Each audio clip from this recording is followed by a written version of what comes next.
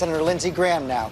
He serves on the Armed Services Committee in the Senate, close ally of President Trump as well. And Senator Graham, thank you for joining us this morning. Thank I know you. have spoken to the president several times about this summit. What's your counsel? Is he ready? Does he know what he wants to get out of this meeting? Yeah, I think he's very much ready. I think what he's going to convey to North Korea is he wants a peaceful resolution to the nuclear threat as well as to end the uh, Korean War. But the goal is to eliminate their nuclear missile program, not contain it, do it in a win win fashion. There's three outcomes here peace, where we have a win win solution, uh, military force, where they, we devastate the North Korean regime and stop their program by force, or to capitulate like we've done in the past. And Donald Trump is not going to capitulate. So there's really only two options peace or war. And, and, and, as you know, several of your Democratic colleagues in the Senate have sent the president a letter yeah. designed, I guess, to stiffen his spine. Very tough letter saying that yeah. the outcome has to yeah. be complete denuclearization, no more testing, weapons dismantled. Here's what they write. Any deal that explicitly or implicitly gives North Korea sanctions relief for anything other than verifiable performance of its obligation to dismantle its nuclear and missile arsenal is a bad deal. Do you agree? 100%, and I think they'll be getting a call from the president. I wish they had sent such a deal, a letter to President Obama regarding the Iranian nuclear efforts, but I embrace uh, this letter. It is a very tough thing to accomplish, but here's what I would say to my Democratic colleagues. I appreciate you telling the president what a good deal would look like, but the country needs you to back the president up to get that deal. So here's the question for my Democratic colleagues.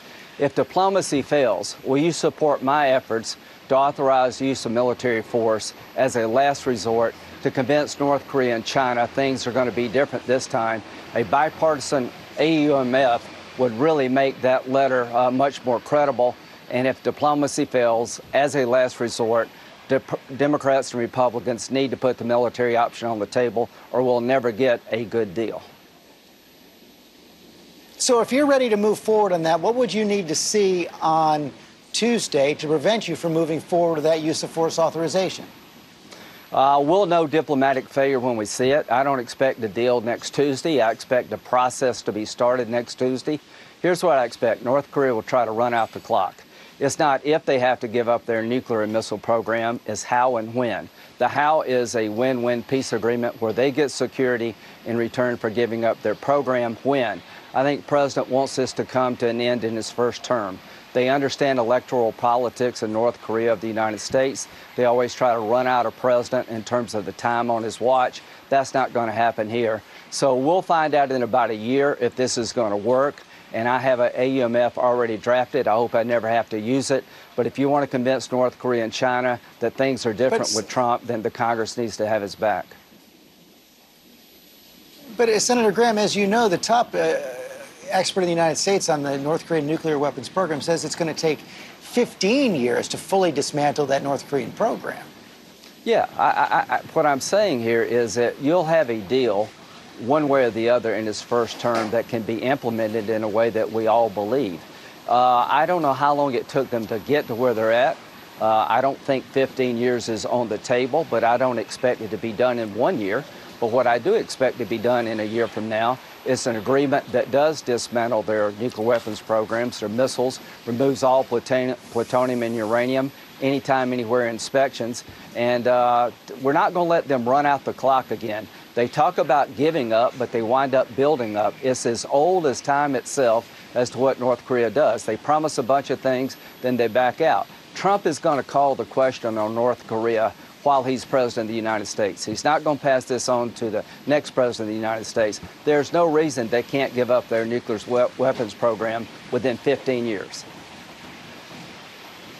He is also calling the question on trade coming off that G7 meeting yeah. yesterday in Canada. Real break with our allies right there. And I want to read you what, what, your best friend in the Senate, John McCain, uh, said about what happened yesterday with President Trump. He said, To our allies, bipartisan majorities of Americans remain a pro free trade, pro globalization, and supportive of alliances based on 70 years of shared values.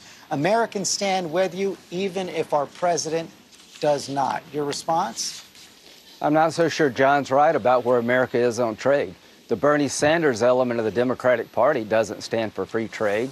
Uh, Hillary Clinton said she would get out of the Trans Pacific Partnership if she had become president. Uh, there's a movement in our party that, that Trump's uh, uh, seized that got him the nomination and eventually uh, become president of the United States. So I'm not so sure a majority of Americans believe that globalization and free trade is in our interest. I believe that. John McCain believes it. But the reason we're having these problems here at home, Brexit, Italy, there's a movement all over the world uh, to look inward, not outward. And I think it's a mistake, but I'm not so sure most Americans agree with John, John McCain and Lindsey Graham. We also saw the president of the G7 suggest again that it should become the G8, that Russia should be invited back in. Yeah. That drew a sharp response from Senator Bob Menendez. He's coming up next on this program, top Democrat on the Foreign Relations Committee. He says it proves that Putin's interference in our election is the best investment he ever made. Well, I agree that expanding the G7 to the G8 now would be a mistake. You've got to deal with Russia. They're they're out there. They're in Syria, but there's no way I would ever agree to give them that legitimacy. The Soviet Union may have fallen, but the evil it represents is alive and well in Putin's Russia.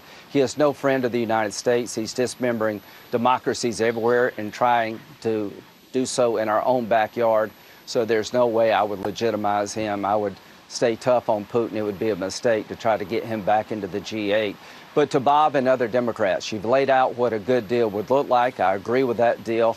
You need to help the president get there. You need to make it real to North Korea and China that if diplomacy fails, the military option's on the table. And the best way to do that, to convince these people, is have a bipartisan effort to do so.